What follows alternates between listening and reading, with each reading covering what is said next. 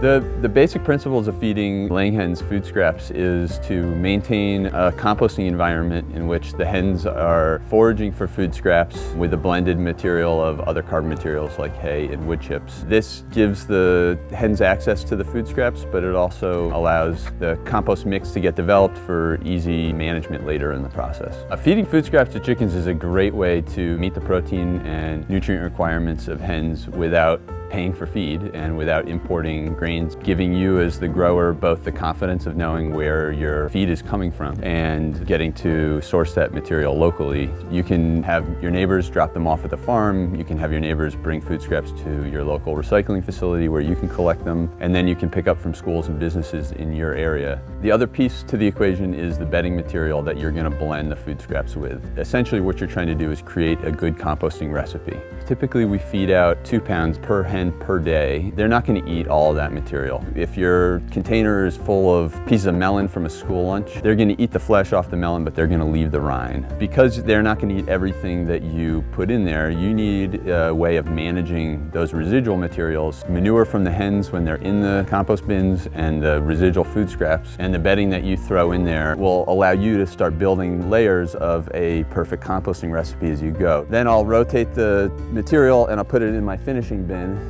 and I'll start feeding again. One of the tricky parts to managing food scraps is you're not feeding other critters that might be interested in free food.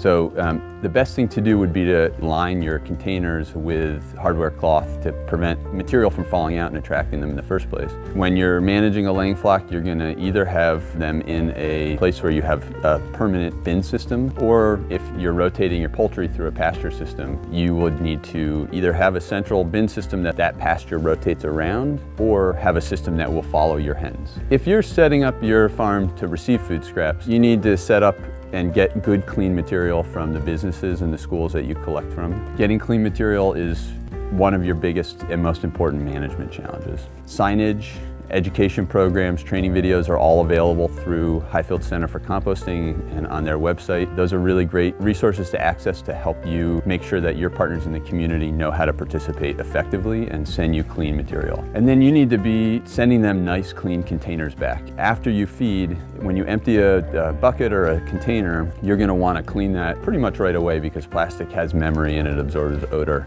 Um, and so a very simple washing system is, is an important part of the, uh, the program. Any of us who have the desire to uh, feed our families good quality eggs and, and, provide eggs as part of our farm products to the community at large uh, should be considering uh, food scraps as a source of feed.